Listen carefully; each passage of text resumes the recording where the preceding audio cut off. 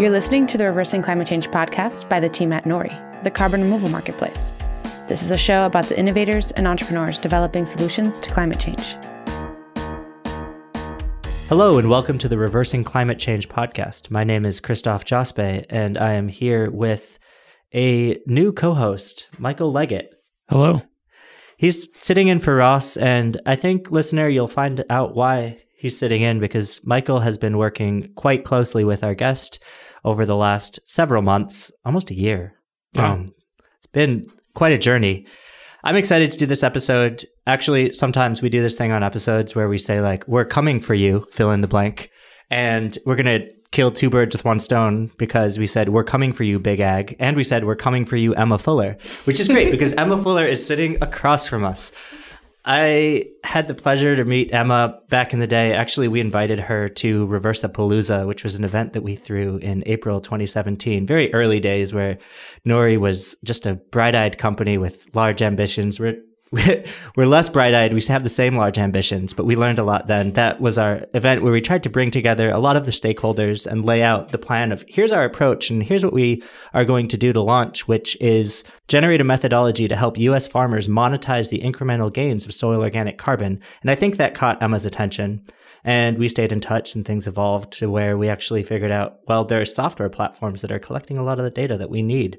Maybe we could work directly with those platforms and find new value propositions. I'm sure we'll get into that.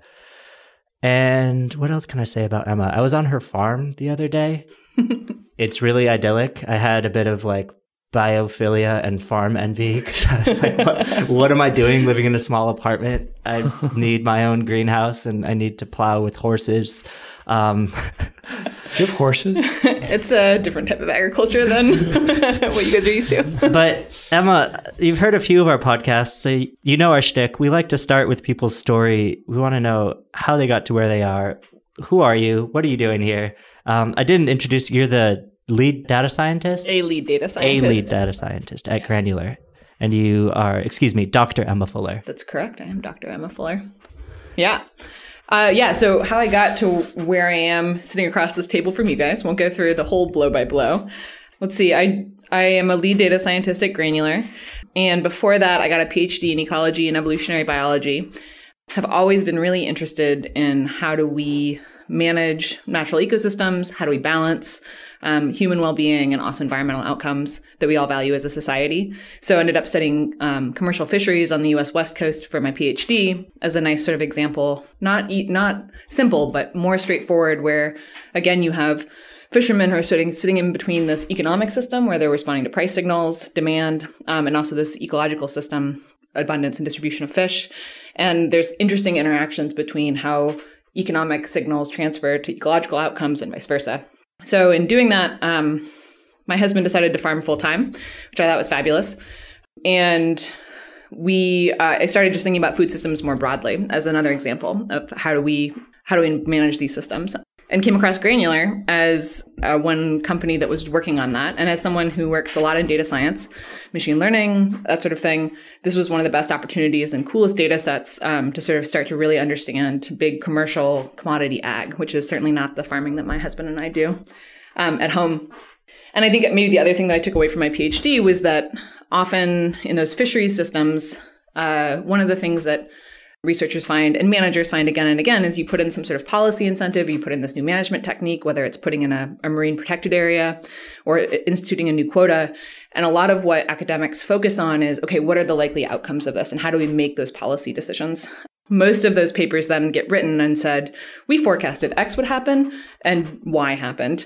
And it almost always is the case that because these systems are not command and control systems, we don't have complete control over how people use fish or go fishing and things like that. was missing was a full understanding of the incentive structure and the sort of decision making process that the fishermen themselves are making. And so that sort of brought home to me again and again that the most important thing we can do when we start to build policy interventions or market interventions is really make sure that we understand the incentive structure that the folks that we're trying to manage or influence are faced with.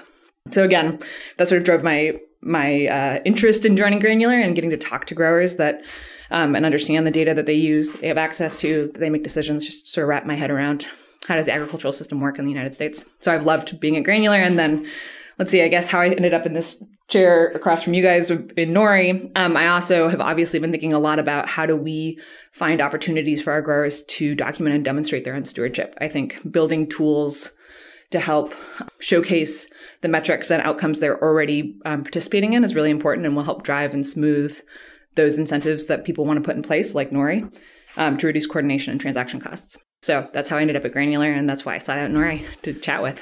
And you've uh, you've dropped a lot of juicy bait there. Uh, I really want to go off on some of those tangents. I think Michael does too. Go I was, ahead, I was, Michael. I was going to ask just for a little bit of color. Uh, tell us about Granular. Who's who's Granular? What do they do? Yeah. Um, yeah. So, Granular is a software company, and the mission at a high level is to help growers both run um, stronger businesses and steward the land for generations to come. And specifically, what that means is that we have several uh, different software lines that help growers manage their business. The main one, I think, or one of the main ones is what we call Granular Business, which I'm sure we'll come back to, which is a farm management software, an FMS system for those in the biz.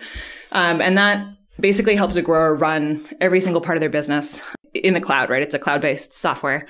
And we can see profitability field by field. So, one of the things that um, the founders of Granular realized was that when they were visiting some of these really big commercial farms that are, you know, churning through millions of dollars, a lot of them are managing their books in Excel, pencil and paper, that sort of thing. So, there was a real opportunity to help those farms be able to organize their businesses. Um, and then they're collecting tremendous amounts of data, but then crunch it and make it usable and ingestible so that you can make those really important decisions of what's, you know, which fields are more profitable? How should I renegotiate my rent with landowners? What crops should I choose? Which markets should I target? Those sorts of things. So that's granular business. We also have granular agronomy, um, which is focused on sort of the, what you might call often is called precision ag, though I think a lot of we can get into what that term means. Oh, it's fine. You're allowed to just seed your own questions and answer them. as we go. Um, so that's sort of stuff like variable rate nitrogen applications, precision sort of irrigation applications, that sort of thing, sort of the more ag- agronomy side of things. And then we also have something called acre value, which is easily described as the Zillow for farmland, um, as much as we all hate that sort of terminology, but pulls together soils, weather, and we also build a valuation model to estimate the value of farmland. So it's in general, it's a suite of software meant to help growers manage their businesses from the agronomy to the business to the land acquisition side. Awesome. Yeah. So so from that, so I mean that's that's fantastic background uh, and great context. What trends, like you know, working with farmers, uh, you know, at all different levels and different sizes, you know, what trends in agriculture are you seeing, and and you know the adoption of these tools um, and the different ways in which these tools are being used? Kind of give us a broad stroke of um, how what's uh, how are things in agriculture today? What what do you find interesting? Yeah, I think the biggest thing is that we see we're seeing increasing consolidation. So farms there are fewer and fewer farmers every year, mm. and the farms themselves the size is getting bigger and bigger. Um, so that's like an overwhelming trend that's happening in the background. We're also seeing quite a lot of generational change. Um, so a lot of farmers are passing it down to the next generation. So either leaving or passing it down to their kids. And so that also drives um, quite a step change in terms of adoption of technology, right? As you you see in across sectors, not just in ag. So those are the two big things that are happening in ag in the U.S. at least. Um, aside from that, I think the other big trend that's happening, and this affects farmers and it affects everyone in the food the food chain is increasing pressure from consumers from society about additional value that they're putting into their food whether it's transparency whether it's environmental impacts um, whether it's human rights impacts. There's increasing pressure for those sorts of additional metrics to be demonstrated. Um, so those are sort of the three big things that i see showing up today I'm interested to go back a little bit and better understand your role at Granular. So, you know, are you some data wizard who just crunches numbers or do you interface with the farmers? I mean, to put it in language that Michael can understand, let's use UX, right? User experience, because that's that's sort of it, right? You've got the user experience of yesterday, which is a farmer keeps a bunch of paper records and they go through a folder, a binder, binders upon binders of like what they bought, what they applied, um, when they did it they look at weather patterns and then they come up with some plan that helps them make some agronomic decision. And maybe there's someone who sits down with them and is like, well, you should maybe tweak this a little bit because it'll make you more money. And it seems like Granular comes in and is like, we got this for you. We're going to digitize a lot of this and just make it easy and help you do it on a field by field level in real time. So where do you sit in all that? And be like, Yeah. Uh, so I have done a little bit in many different places in the company. When I started, I was definitely the data wizard behind the scenes. So I worked a lot on the acre value land valuation model. So I owned that pipeline from data ingestion to building the model to publishing those results and worked closely with engineering to make sure that the site, every time you went and clicked on a parcel, it had the right valuation score. So definitely did that. And that's where I started. I started at Granular at a great time when we were, you know, big enough that we're the work life balance in a startup was somewhat reasonable, but not so big that everyone that there was still a ton of space for me to move around. And so over the last, I would say 12 months, I've also moved increasingly into sort of what I would call a product strategy role where we have, we have a strong mission. And this is part of what attracted me to Granular of helping growers steward their farmland. But we're still working on identifying where are the best places for us to sink our time and our resources in that will actually reward growers. I think you guys know that sustainability broadly is both extremely vague as a term, right? It can mean, it can, it can encompass so many different things.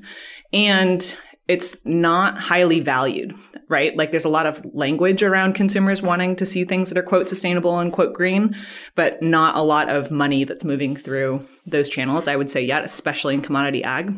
So a lot of what I've been doing is sort of trying to sort through where are the real opportunities that will really drive value for our growers and thus drive value in our software. Granular sells directly to farmers. Like we don't, that's like our main go to market channel. And so it's important to us to, I mean, growers are paying money for our software. And so if I can't make the business case to the rest of engineering and the product and the UX teams that this will actually drive um, sales, then I don't like it's going to be a much slower process for me to integrate and get sustainability features off the ground. So it's a really challenging but very helpful sort of lens to be looking through all of these opportunities with. So that's what I've been doing a lot is helping um, some of our product management folks identify the opportunities and prototype, which is one of the things that the Nori pilot represents is a, a strong opportunity there.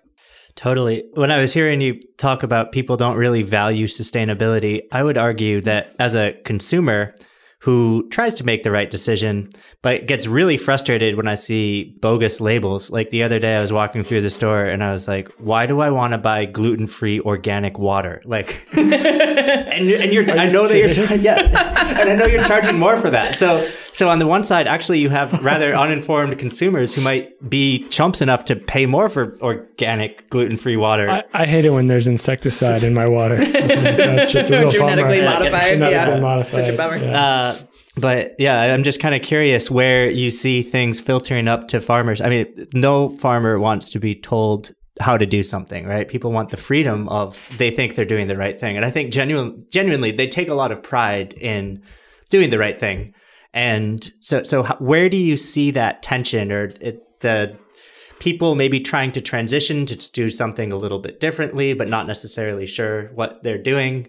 Yeah. Um, whether it is yeah, so I guess uh, the two sort of observations. I think that's a good call out on on that sort of throwaway. Sustainability is not not valued. What I'm what I mean when I say that is like is based on the two sorts of observations where we sit in this value chain from farmers who then sell to aggregators, whether it's Cargill or ADM or some other sort of grain buyer who then sell on to a food company like General Mills or Campbell's, who then sell on to someone like Walmart, who then sells to a consumer, right? Like you have these many different chains we sit right next to the farmer, right? So we gather, we provide a service to gather all the growers' data together and help them make decisions and then be able to share that information with any partner that a grower decides that they want to, whether it's their agronomist, whether it's their landowner, whether it's one of their buyers, whether it's someone like Nori.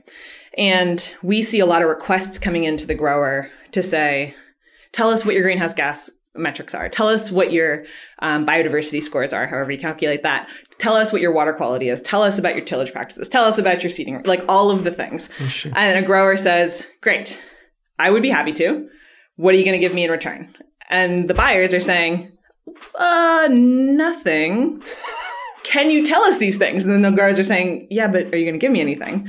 Right? This takes time. This takes energy. These are, in many cases, my trade secrets, right? Mm-hmm. Um, and they're quite sensitive. So what are you going to give me? And that conversation just repeats itself again and again. So there's definitely demand coming through those channels in the supply chain, but as of yet, there is very little incentive structure, and it doesn't have to be necessarily a, even a grain premium. It could be differences in the contracting terms, right? So instead of a, it could be a long-term contract or cost plus cost of production plus sort of pricing schemes, things like that. And you do see a few of those, like Dannon has one, a few others. Um, but again, those are exceptions rather than the rule. And so that's where I see it, where there's definitely demand, but I don't think food companies, from my perspective, farther down the chain, I don't think food companies and retailers have decided exactly how much that's worth. They know it's worth something, which is why they're asking for it, but they're not putting any money to it. Right. It's like I've I've got a pollinator strip.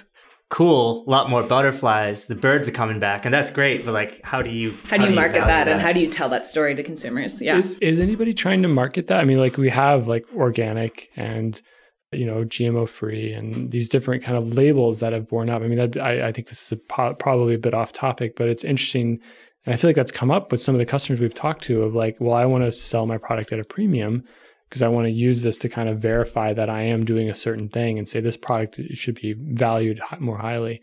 Um, have you seen much like effort around that, like in the industry at all, to say like this is certified sustainable or certified, I don't know, butterfly, like well, whatever that is. Like I don't know what that term is, and I think a lot of like to your earlier comment, a lot of times these terms are just thrown around as marketing terms, and they're not. You know, it's Yeah. natural. Right. Uh, well, natural doesn't actually mean anything Right. legally yeah. anybody can just put natural on something that's entirely not natural. So there's a lot of yeah, yeah, and which makes it harder for the consumers to actually understand like what is valuable. Yeah, I think so. There's a lot, and I I think it's, it's a little bit of a chicken and egg problem. So one, I think we all recognize, or food companies have recognized, there's value in these terms, which is why there's so much labeling labeling noise that would goes on. Right. That's why you see GMO, anti non-GMO water, um, or sustainable water, or whatever. So I think that that that contributes to the challenge. Um, there is definitely tremendous interest in sort of in the food system about labeling these things, right? So I would say that regenerative agriculture is a term that didn't didn't have nearly as much traction five years ago or even three years ago as it does today. There's still no formal labeling scheme around what regenerative ag means, and in fact, there's like some um, I don't know, some dramatic call outs going on between General Mills and, you know, maybe Patagonia Foods, if you look at that, right? So Patagonia has one set of things that they want to see as regenerative ag. Um, and General Mills has been using the term to mean something slightly different or slightly less comprehensive. And so there's still a lot of arguments about what those two terms mean. And that's very difficult for a consumer who's like, look, I just want to like, and I'm that consumer too, right? Like we grow food Yeah. for ourselves and we grow and we sell food, but we also don't definitely don't grow all of our food. Um, and so when I go to the grocery store, I'm also sitting there being like, well, should I buy this soup or that soup or which stock should I get? You know, like all of the things. So there's a lot of argument, a lot of churn. But again, I think that the I think that also has to do, and this again, it would be interesting for you guys to continue to explore this with other guests. I think it also has to do with how marketing and procurement is set up um, in a lot of these food companies. That you know how integrated those two are, because certainly marketing wants to tell a story about procurement, and it really depends whether or not marketing can influence procurement and procurement can influence marketing, and what other factors procurement is judged on their performance, right? So their reliability, their cost, things like that. And I think historically, a lot of food companies' procurement especially for commodities when like by definition the product is a commodity it is totally indistinguishable. There's no quality differences. It's a system that is also like is really difficult to change because you're trying to add additional qualities that differentiate commodities and essentially decommoditize them in some way. And this whole system is built on that not being the case. Mm. So that's like a huge structural issue Yeah. to undo. And certainly there's there's a lot of work there's a lot of effort and opportunity there but it's non-trivial. And i think i guess one last point just to riff on that is that um, i think why we all get excited about commodities is that they also represent a huge footprint right? So like of the hundreds of millions of acres of farmland we have in the united states most of it is in quote unquote commodity ag as row crop broad acre sort of situation corn soy wheat that sort of thing. So if you drive change in an acre of corn that scales in a way that an acre of lettuce may not um, in terms of just the amount the percentage of land affected in the United States, which matters for things like carbon sequestration and water quality and things like that. Yeah. Yeah, it it brought to mind a uh, a John Muir quote when when one tugs at a single thing in nature, he finds it's connected to the entire universe, and it's kind of the yeah when you try to decommodify agriculture and realize that it's it's not that easy, and there's this whole system in place. Um, and one of the things that excites me as sitting here with two software oriented people is we're seeing we're living in a world with an explosion of data and an explosion of ways that you can get that data and use that data in ways that can help you make better agronomic decisions and also find multiple values for that data. So, can you talk a little bit about some of the innovations or data that's coming online and co- that's coming available? And then to layer on that question to make it even more complex, how you see that affecting what you were just talking about, which is the decommoditization of agriculture. Yeah.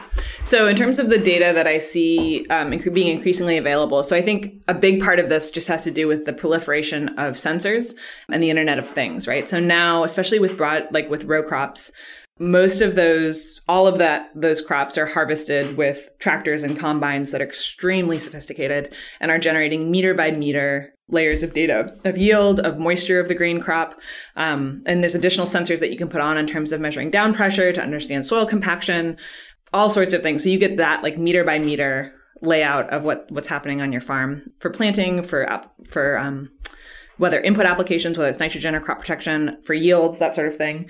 You see drones being applied increasingly, right? So you have really fine scale imagery um, in real time that you can process. We have increasing amounts of satellite data. Again, not unique necessarily to agriculture, but being applied to agriculture. So we have, you know, three meter resolution satellite imagery that's almost daily, depending on cloud cover. So you see just a ton of environmental data coming in in a way that was really costly previously to capture. And I think there's an interesting like previously, this data was only really available, I would say, like on research plots or academic or long-term sort of agronomy trial situation. So whether it's an R and D organization um, that makes you know herbicides, pesticides, or seeds, or university extensions agencies, that that was where that data lived. But now it's sort of being democratized to every single field across the entire country, which is like wow. amazing, yeah. right? And and I think we're still grappling with like, wow, what do we do with all this data, right? Yeah. Which is like again, every, I think every single sector has like gone through that process of like, oh my gosh, all of the data. What do we right, do with it? Right. So we're definitely there with ag. Um, it's going to be great. Someday we'll have all this data. We, we oh have the data. God, we have it today. So I would say that we have just tons of environmental data. One of the things that I really like about what farm management software is able to do, of which Granular is one example, is start to marry economic performance to that, right? Which comes back to this like marrying of environmental outcomes with economic business performance and understanding how those two interact. Um, and so this now lets us and lets growers make their decisions and understand how this kind of environmental outcome, this kind of agronomic outcome drives profitability, drives business outcomes. So I think that's, yeah, sort of superficially, that's sort of some of the data that I'm seeing, just a ton of environmental data to sum that up. And then the second part of the question was, how do we? I mean, you, you, kind of answered it. I don't think I was necessarily being fair, but it, it was more along the lines of there's there's a shift in agriculture because I mean what we're seeing is is is a trend that is maybe not long term sustainable, and we'd like to see something which is more viable. And so it's understanding how does that availability of data in new ways potentially shift systems that wasn't previously possible. Yeah, yeah. I think uh, one one saying that I love to return to is you can you only manage what you measure, right? Or you only measure. Yeah. Oh dear. Let me try to say this again. Yeah, it's fine. You can't measure what you can't manage. Yeah. Yeah, yeah, something like that. You you yeah, can't uh, manage what you me- don't measure. Yeah. Man, I you manage, probably all botched, butchered this. And, you manage what you measure. Right. Uh, yes. For, for, for long time listeners actually probably heard me go on a rant after having read The Tyranny of yeah. Metrics, where I pushed back to say, well, we don't want to be hyper focused on metrics because if we're only focused on that one thing, actually we're missing the forest the broad, trees. Yeah, sure. So there's some discussion about the holisticness of the metrics that you choose and the right metrics. But certainly if you're not measuring anything, you can't manage it, right? And so all of this environmental data opens up new opportunities um, to actually manage these outcomes in a way that we just never had, right? So being able to understand you know, the mm-hmm. soil conditions and understand what nitrous oxide emissions are and soil carbon sequestration is lets you all of a sudden now start to manage for those outcomes and reward and build incentives around those those outcomes. And so I think that opens up really exciting opportunities both to one fully know the scope of the problems that we're faced with, but two gives us some of the tools to start developing market or other incentive structures to start addressing them. So that that is what really excites me and that's what I think drew me to software of like starting to build the metrics because I saw that opportunity is like, okay, now we have the data. Um, let's start putting it together in ways that are meaningful to drive decision making. Yeah. So we've talked about like trends in agriculture and and talk. You've talked about like um, both uh, precision ag becoming a bigger thing. You've talked about generational changes. You've talked about um, different ag tech and software being made available, uh, both with managing farms as well as the actual equipment and you know where do I apply the the nitrogen, how much, you know, and different things. What do you think is is driving all of this? Is it just about profit? Is it just about like I want to make more money, you know, more dollars per acre? Are there other things driving the adoption of all these things and and the kind of making things more complex as well as you talked about farms becoming bigger and bigger? Is there something deeper and more you know interesting behind what's driving that than Yeah, I think I mean I think a really big part of this honestly is is consolidation as as sort of perhaps less fun is like a less exciting example or explanation. So my farm on Vashon Island, Washington, It's is huge, right? yeah, 15 acres, one five, huge, right? we have maybe three under cultivation. Would be what you call a market garden situation, right? Uh, and that's that's a tremendous amount of work, uh, especially because a lot of it is by hand. But the growers that we work with at Granular, a small farm is is an, a, th- a thousand acre operation, like you know, most of our customers fit into like sort of the three to five, right? And we are increasingly seeing growers that are 30, that are 70, right? That like are, you know, thousands of acres. And a lot of these are family farms, right? It's run by four guys, right? Dad, sons, and maybe a cousin. Wow. all like Right? thirty thousand acres Yes. run by four guys? Yes. So, How? right. Software, machinery, complex machinery, Robots. sensors, robots. It's like right from Interstellar where he's got like the remote control Yeah. and all the like yeah, I thought that the Interstellar movie was so interesting for a variety of reasons, both for the way that environmentalism was portrayed in that movie, yeah. but also for the farming aspects of that. Uh, yeah. So when you go to you go to the Midwest and you look out over these this like rolling beautiful hillside, and you realize that two guys farm that probably. Wow. Um, and what used to take you know pre mechanization used to take three months to pull in a harvest now it takes less than a week.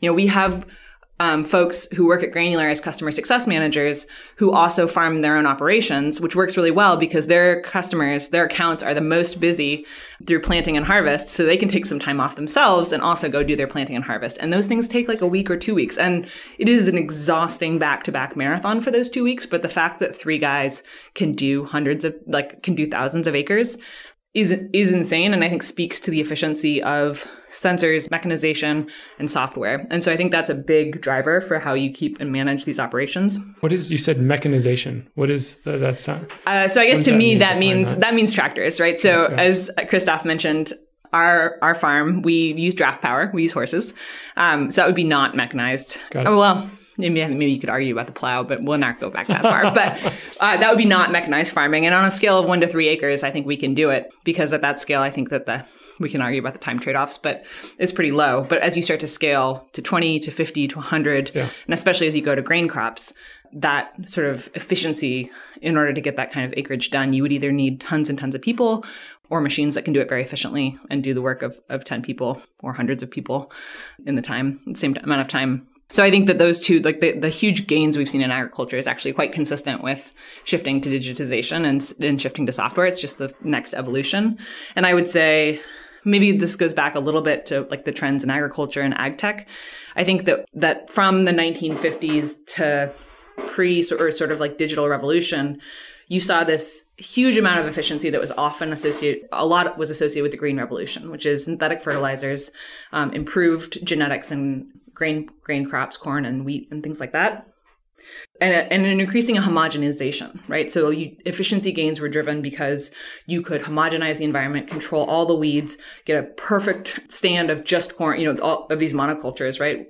That makes it operationally extremely simple and thus very easy to scale in size. So you go like you get increasing operational simplicity and efficiency. And I would say that precision ag now represents being able to go subfield level to address the variability per field and like optimize for every single meter, right? So in even though you have these monoculture stands of corn, there are sort of sources and sinks. There are places that you can put nitrogen down or put seed down and it's just like either it's very compacted or it's like constantly flooded in ponds so you just don't get a good yield there so you're essentially pouring money into that those sort of like sink areas mm-hmm. without getting any return and so the type of sensors that we now have will let you identify those areas and say don't plant anything there.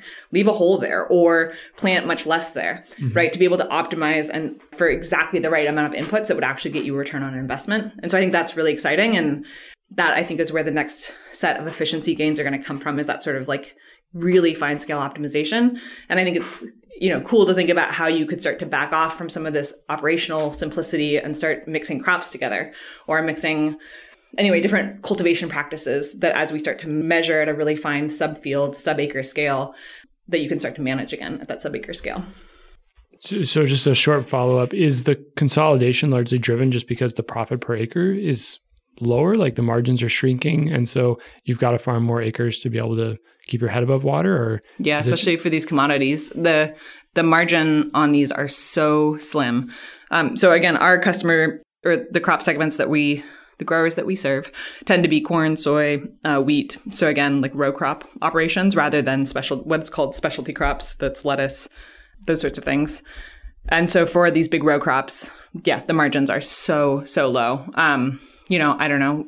It depends, but often you see margins of like anywhere from one to five dollars per acre, right? And you multiply that, how many how many thousands of acres do you need for that to turn? it's like annual margins? Right. Yeah. Wow. Right. And sometimes they're losses. Um, Wow. so you need to you have, need to have a lot of acres in order to make that be a, a livable profession. Yeah. I'm so tempted to to ask a question, but I really want to get us over to talking about the pilot. So I'm just going to make a statement and not allow you to respond. Beautiful. And then she'll respond. Yeah. I- but but but I'm going to tie it into the pilot. So you're going to be forced to talking about farmers taking activities that are sequestering carbon dioxide and adding it to their soils. But I I just want to push back a little bit on the mechanistic mindset. We've had uh, Charlie Massey on, who's an Australian farmer who.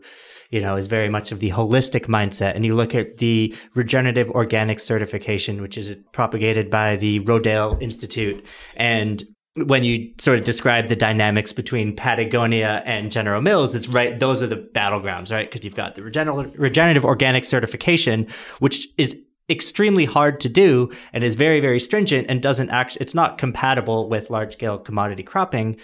And I even remember being in a conference where someone, it, it was a farmer conference, uh, No Till on the Plains, and the topic was regenerative organic. And people asked, all right, how many people are organic? And a couple hands went up. And people said, how many are regenerative? And a couple hands went up and said, how many people are regenerative organic? And no hands went up. People said, is that even a thing? So it, it's just kind of interesting to see that we're being pushed in this commoditization, commoditization, like bigger, bigger, bigger. But also, you know, you say, well, it's not profitable unless you farm bigger. But is that actually true? Because are farmers being pushed into debt to buy things that are bigger and bigger so that they can farm bigger and bigger? And then they're mm-hmm. suddenly in this cycle. I mean, I'm kind of evoking Wendell Berry right now because I'm reading The Art of Loading Brush. And like, if Wendell were here in the room, he would not be down with what you're saying at all. He would be saying, no, Emma. Like, actually, what we need is smaller farms and they can still be profitable because they're reducing their inputs and they're getting more diverse in their crops. And this is improving the soil organic matter, soil organic carbon which is what Nori cares about, right? So let's tie it now to the pilot. so we've got farmers like Trey Hill, who actually you're allowed to you're allowed to respond to my comment there. I was going to say, you're really not going to let her respond at all. Uh, I love that you're reading the Art of Loading Brush. That is like if that's a great book, and uh, Wendell Berry is one of I think the motivations and uh, inspirations behind both uh, my husband and I's uh, own personal adoption and involvement in farming, um, of knowing the land and being involved intimately in that scale. There's so much I think to go on there. A few thoughts that come to mind. So one, well, just to start, I think there's also just an interesting power imbalance in how we market and sell food today that growers really don't have a lot they're they're price takers right so growers unless they're part of co-ops have a very difficult time setting their own prices and demanding premiums um, and especially when you have a commodity system and so it's a very difficult position to be in to be able to identify markets and drive those changes. And i'm not saying that there isn't demand and really savvy farmers can do it. Um, it's just not easy. So that's just the first thought that comes to mind. And i think let's see where else was i going to go with that? I also read charles massey's book which is a great one. Um, so it's cool that you guys had him on the podcast. I think the other piece nope i think i've totally spaced. So we can move on to the pilot. No, you're you're good. I, mean, I, I- I want to talk about Trey Hill because Trey, right, Trey. Trey is one of those people like he's doing it. He's he's a pretty mid-sized farm, I guess, for granular, and pretty big It's pretty big. Yeah. he he's doing it. He's he's Yeah. commodity farming, but he's also planting green and yep you know im- Yep. improving his carbon numbers. We've actually run the data through the farmer or through through the pilot. To the farmer. run the data through the farmer. That's Trey, I've got all this data. Just- tell us what it means that is a weird dystopian future that I don't want to live in. um, but you know, there there are a couple parts that I think we want to get into, and this is really why we have Michael on this podcast here because Michael is the one who's who's leading the pilot and leading what we're trying to do from it. And I think, well, first of all, what sort of reception are you getting when farmers see this? Like, wait, is this some climate change thing? Like, how how are farmers thinking about climate change? Yeah. Um, so the way I think that often the the words differ, right? So I think climate change often has a political tinge to it that indicates gets into identity politics and that sort of thing. But by far, far and away, growers, farmers are the most aware of year to year weather conditions in a way that most of us who live in cities are not. And so, beyond a doubt, understanding extreme weather, understanding shifts in growing seasons, the duration of growing seasons, the amount of water you get, the timing of the water that you get, all of those affect business decisions every day about when are you're going to do your planting, when are you're going to do your harvesting, forecasting, that sort of thing. So growers are, are really aware of it. Certainly this summer has been a really, the fall was tough, the spring was tough, the summer was tough, right? We're just seeing huge amounts of disruption, whether it's flooding. A lot of it's coming from water in the Midwest right now. So I think farmers are really, really aware of it. Uh, again, it gets tough because we're talking about uh, things that have political implications.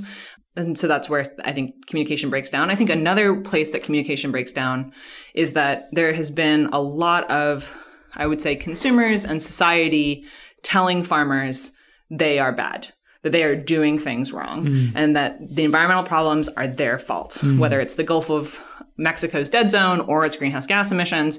Ugh, agriculture, the worst. Uh, right? Which is not a super welcoming environment to step into as a grower, right? To like engage with. It's not? No. Yeah, right? Like you're not like leaning in on that one. Yeah. And so there are very impressive growers like Trey, right, that are willing to say, look, I'm willing to come to the table and talk about these things because these things matter and can see past that kind of vitriol.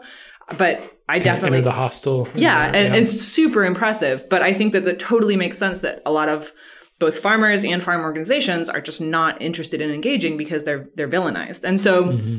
one of the things that I'm hoping in general with helping build the sort of sustainability and stewardship tools is help growers tell their own story and be mm-hmm. empowered to tell their own story and yeah. have the tools and the data to back up their own story so that they can say, you know, because a lot of our growers, and this gets to the pilot, especially a lot of the growers that I've had the opportunity to, ch- to chat with to let them know about this opportunity with Nori are amazing stewards, right? And are already yeah. doing amazing things with their farmland and are generating huge amount huge amounts of value for society for us that don't farm at that scale whether it's water quality whether it's sequestering carbon for for no charge they they just do that but they have no way to tell their story in this this big food system yeah so i think helping growers and i think that's going to be a side effect of actually participating in nori is for them to be able to, to to, say look i can document how much soil carbon I'm, I'm sequestering. I can put it in context so you understand what kind of impact i'm having on this global problem.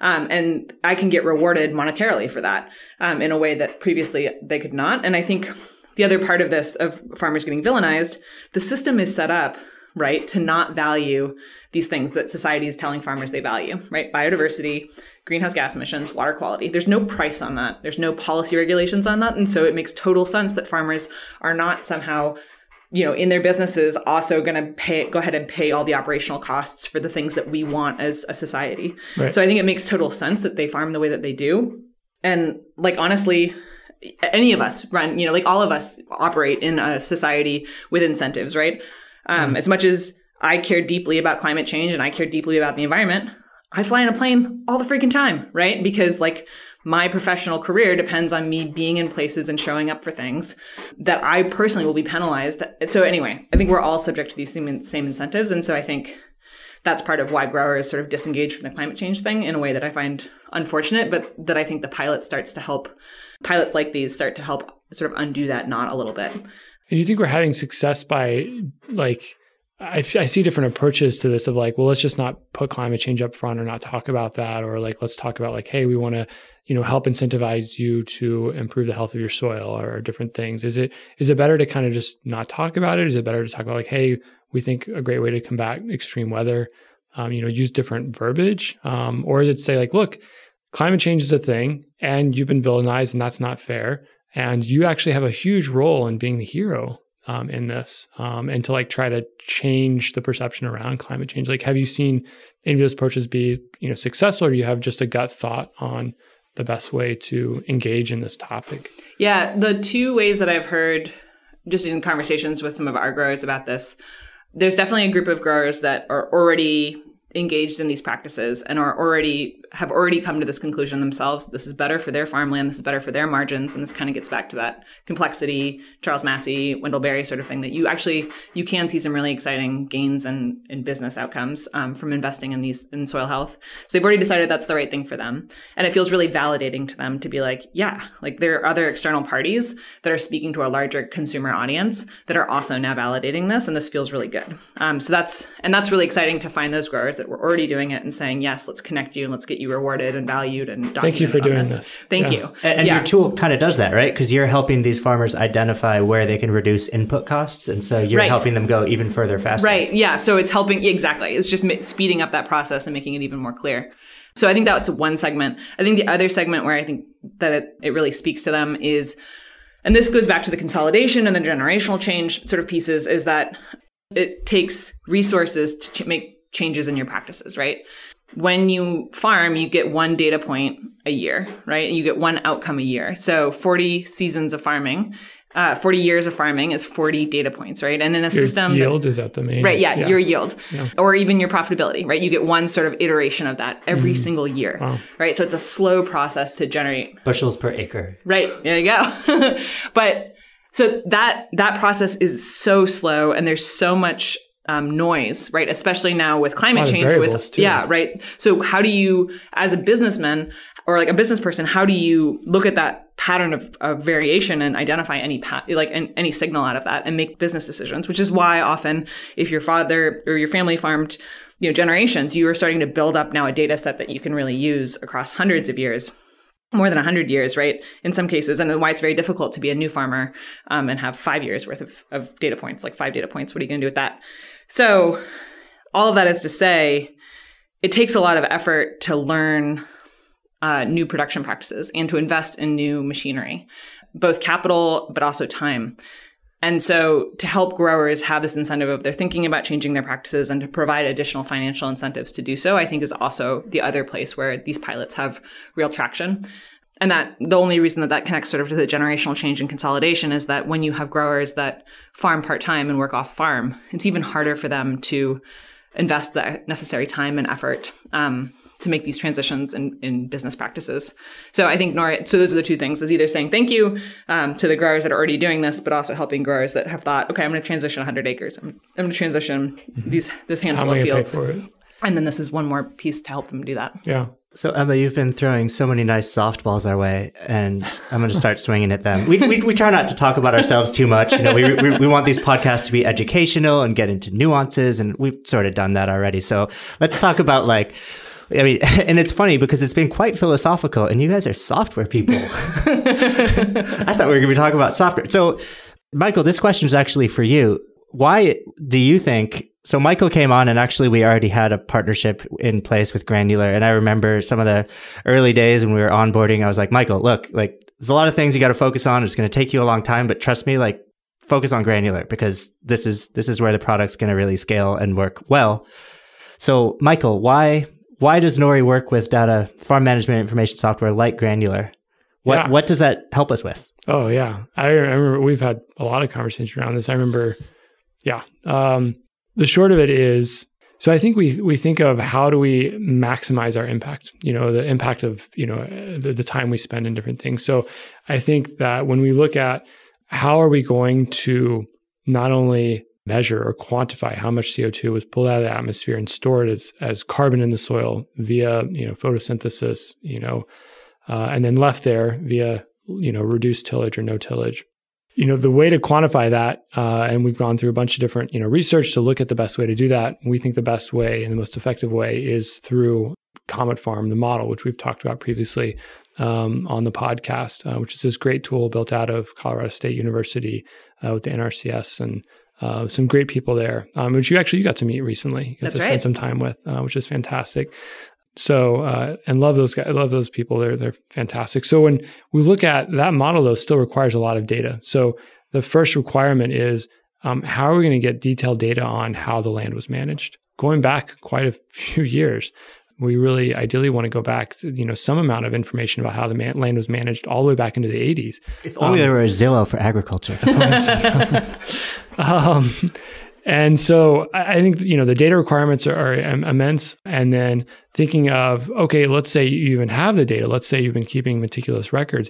The labor involved in putting that data in is immense.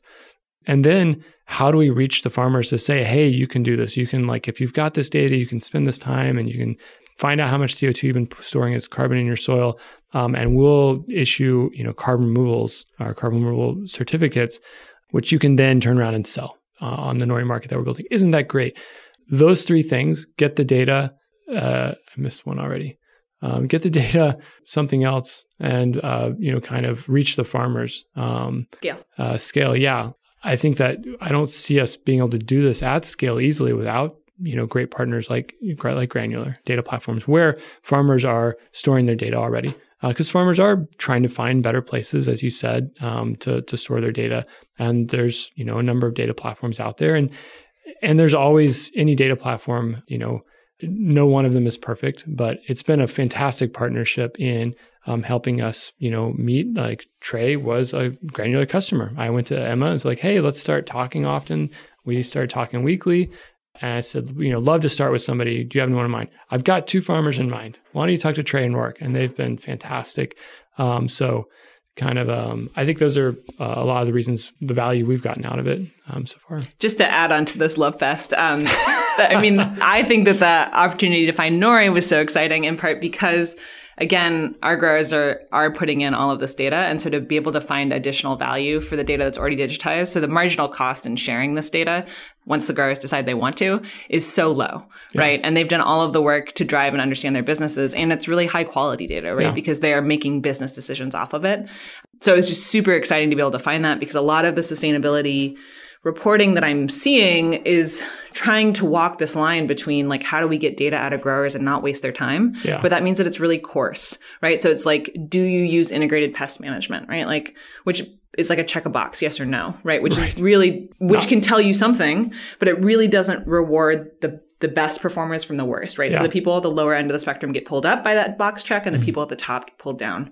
So it's so exciting to find opportunities like Nori that can really like tie financial uh, incentives to environmental outcomes to reward the yeah. amazing people like Trey that are doing amazing things and really see them rewarded at the top of their game for that. Uh, so it's it was just like super exciting, and that's why I like um, I think these ecosystem service market setups in general that they set up the incentive simply and straightforward and, and it's really straightforward. So I yes, it's been a great partnership so far. So what are what are we actually doing together today? And what do we want to be doing after after we do that thing we've been doing recording today? a podcast right now. Oh, yeah. um, hey, hey, listener, we pulled a fast one on you. There's actually nothing other than just like randomly doing a podcast. uh, yeah, in the pilot, I, I imagine. Yeah, yeah this do you is want to go first? Oh, this is the pilot. this is the pilot. sure. Yeah. So today, what we're doing is um, letting uh, various granular business customers know that they have the opportunity to participate in this pilot project with Nori, which is where they can export their granular business data, which helps parameterize the comet model uh, to estimate their total amount of carbon and then list on the Nori marketplace prior to it launching formally to the public. So that's been the process that we've been involved in so far. And so it's been a lot of Michael and I working together to figure out how do we actually do this handshake to get the data transferred in the right way using both Trey and Rourke as examples. And then now on my side, going back to the larger customer base and saying who are the right growers that are excited about this, that would be interested in this, um, and starting to understand and, and enroll them into the, the pilot project. Yeah, who's next? And, and kind of, uh, and in trying to improve the process. And I feel yeah. like we've been really, I feel like we have similar mindsets. And one of the things I've really enjoyed about working with Emma is you're both very willing and excited and want to do things really well, but you're also like scrappy and like, okay, you know, here's the Cadillac version, you know, the really the the way we could do this and we want to get to there, but what's the really cheap way we can do it so we actually get something done next week? Um, and let's learn from that and improve. And so I think we've been, you know, and, and really especially you've been really mindful of like what's the, the next baby step we can take uh, to get us further down the field. Um, so, what have you been learning? Yeah, what have we been learning? Um, I mean, I think that a lot of it is we knew nothing would be perfect, um, but learning about like where the imperfections are and like developing strategies to improve them. So that's both in how to transfer the data, the the data like I think like you said, it's not just a box check. We want to know, you know, what brand of fertilizer did you put down? Well, how much nitrogen's in it? You know, how many gallons of fertilizers you put per acre on this field versus that field, not just across your whole farm. Um, so um, I think a lot of learnings is just getting to know each other and the intricacies. It's like a, a like a like a really robust relationship where we really get to know, you know, how things work on each other's platforms and how to make that work in a reasonable way, you know, and find our way forward. Yeah, I would say that also tactically, we've identified a ton of like little places where um, sort of like data translation there's challenges yeah. that you wouldn't expect. So, for example, the definition of tillage, right, is a challenging Ooh, that's one. a fun one. right? Yeah. So, there's full till, there's conventional till, there's reduced till, there's like strip till, there's no till. Vertical till. Right. Yeah, vertical till. There's but then there's mulching and mowing. That's right. What about broad spectrum herbicides? What about broad spectrum herbicides? Indeed. And so those sorts of nuances, I think we're getting the opportunity to like really stress test how that like with the rubber meets the road. Yeah. And I think this is this is something about ag tech that's broadly true is that we're we're in this process of building up tons and tons of data, but there's still relatively low interoperability across systems. You know, whether it's between um, different farm management systems or between drones or satellite, I mean, like there's just a lot of data transference yeah. that's tough, and so that makes this tough also. Where you know, Comet Farms is expecting one set of data, but we have a slightly different data model. And so, how do you marry those? I was going to say, there's like the love square of like the farmer and how they think about it, and then granular and how you think yep. about it, and then there's how Comet Farm thinks about right. it, and we're kind of stuck in, in the between, middle of like yeah. trying to translate between. Yeah. yeah. yeah. And, and in a way, we take that on ourselves and then offer that as a value prop, and hopefully not trying to standardize, but at least harmonize a lot of these disparate efforts. Yeah. We are. I mean, we're definitely. I think one principle we've that's come out of the pilot is we believe strongly that it's important for us to capture what happened as much in like either the terms of granular or the farmer. Um, so I'd rather the farmer say I do vertical tillage, and let's say great that classifies as X. Um, and does that make sense to you? You know, as reduced till, which you know leaves seventy percent of the residue on the field or whatever that might be and trying to create you know the the best mappings we can that Comet Farm needs um, so that if those mappings ever change or improved, we can change them, we can improve them on an instant. And when we go to verify, the verifier is not saying, I see you did reduce tillage. And the farmer's going, uh, sure. I, I don't know. I do vertical tillage.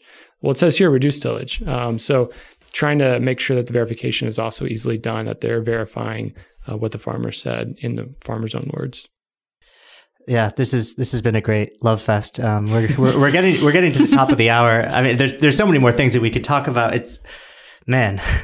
So well, okay. Before before we wrap it up, uh, so today, you know, people are they've got their data on Granular. They're downloading it they're exporting it over to Nori. This is a manual process. And then slowly we're figuring out like, how do we automate this so that there's a software handshake? So ultimately this vision where someone in the granular tool will get a number in the same way that they can see that number that results in like bushels per acre of what you can sell that commodity crop at, at every, any day is like, here's my CRC number. Here's my carbon removal number because maybe there are multiple ecosystem service markets and like take your pick, whatever works for you the best. Nori just wants to be one of the first and and eventually that software can talk to each other. I think that's a real differentiator we have from other carbon markets, so that we're starting with software first. But I'm just interested for you, Michael, to spell out a little bit of some of the phases where you see this evolving. Yeah.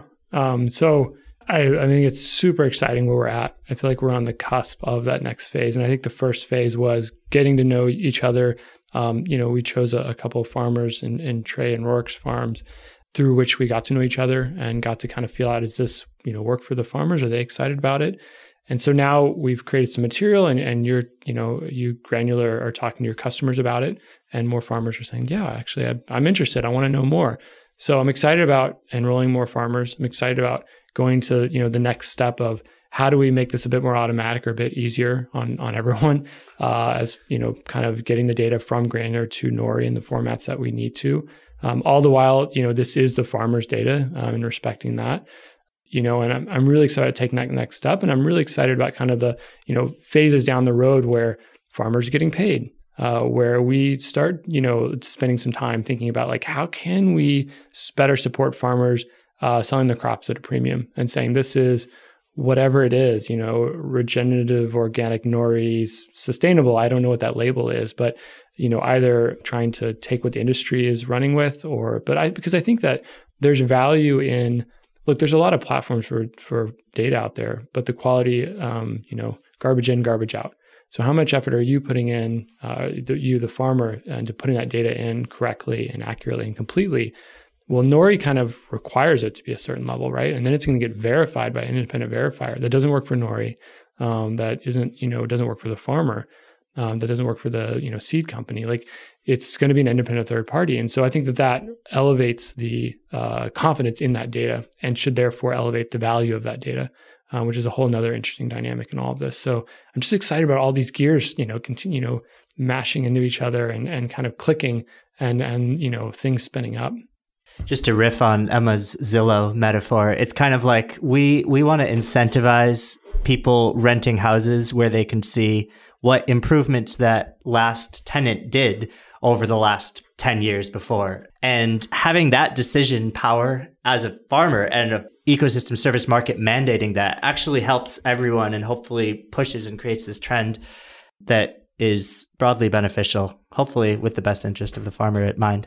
Yeah. And I mean, one place that I see nothing so far, but really exciting potential is how this shows up in the land market. So just like what you're saying, right? We know that it takes five to 10 years before you really start to see turnarounds or changes in your soil structure um, and productivity. And so being able to have a platform on which we can document and demonstrate that, and then landowners or farmers get rewarded for that um, for being good stewards of the farmland and whether or not you care about it in terms of a financial asset that you own farmland and it's just uh, you know one place to invest or you care about it from an environmental perspective or you care about it as a combination of both being able to show that with yeah. metrics like that you guys are generating with Nori is so exciting. One thing we didn't talk about, but part of what comes with that consolidation and generational change is a lot of rented farmland. So there's a lot of non, what's, what are called non-owner operated landowners. So this is either kids that inherited it from their parents and decided not to farm. And often these are smaller, quote unquote, smaller parcels, right? They're 40 acres or 100 acres or 200 acres, not big enough to generate enough revenue to be a sole business on its own. So often rented to other big farms. Mm-hmm. And so being able to show a grower who says, Hey, landowner, I would like to rent your farmland and I am a fabulous steward. Um, and look at this demonstration of mm. my past performance, I think is also extremely valuable for being able to say, for a landowner to say, great, I would love to see that. Um, yeah. And also for landowners, honestly, to understand the financial value that's associated with this. I think we didn't, a whole can of worms we didn't even get into is the sort of dynamics of the, the land owning side of things, right? That a lot of landowners see rent checks from farmers as a reliable source of income, right? But they don't want to necessarily, either they don't know about it, the opportunities, they're not familiar with, with the space enough to know that they could be investing in these ways that require long-term views. So I think there's a tremendous opportunity there that I'm really excited about exploring with you guys as we start to build. But this foundation of having strong environmental metrics that are linked to management performance uh, is the absolute required foundation in order to, to move to that space. So I think it's it's a really exciting like set of next steps that we could also be thinking about. You know, yeah. post post the successful launch of Nori's marketplace. We've got a lot to work on, a lot to figure out. Any closing words, Emma? If someone is listening and they're interested in finding out more from Granular, should they just go to the website? Yeah, you can definitely check us out at granular.ag. Um, you can also find me on LinkedIn. I obviously love talking about all of the things that we talked about on this podcast. And so finding folks that are as excited about food systems and sustainability um, and economic systems and that sort of thing, love talking about it. Yeah, I think those are probably the two best places to start. Well, wonderful. Thanks so much for listening. If you like the show, please rate and review it in iTunes or your podcast app of choice. Please share this with people who you think would be interested in the topic. Please subscribe. We've got a weekly newsletter. If you are interested in the pilot, feel free to email us at pilot at nori.com. Um, we've got a lot to do, a lot of exciting things to announce in the near future, so stay tuned. All right, take care.